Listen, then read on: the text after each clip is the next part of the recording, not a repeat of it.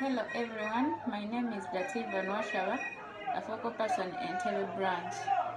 One of the most important thing is that I want to thank the Limitless Academy because it has provided for us a room where we can express the challenges that has disturbed our families, more especially during this lockdown. And uh, I hope one day we shall join hands together and we fight these challenges as a group such that our community becomes a safer place for us to stay in.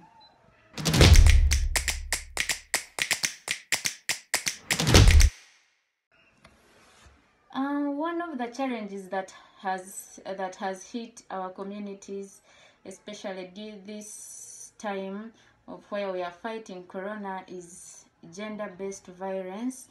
Uh, when lockdown came in, uh, most people lost jobs and people were forced to go back home.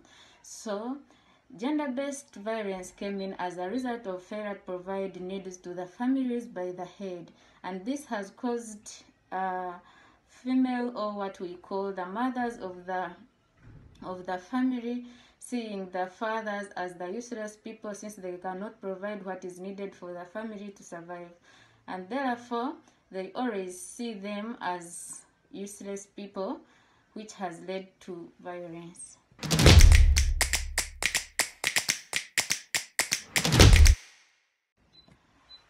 Me as an individual, I would like to use the digital tools of OpenStreetMap to fight gender-based violence. For example, one of the solutions is sensitization. But how am I going to apply the tools of OpenStreetMaps to fight gender-based violence? There are certain navigation tools in OSM like maps.me that helps in reaching out to the areas that someone does not know.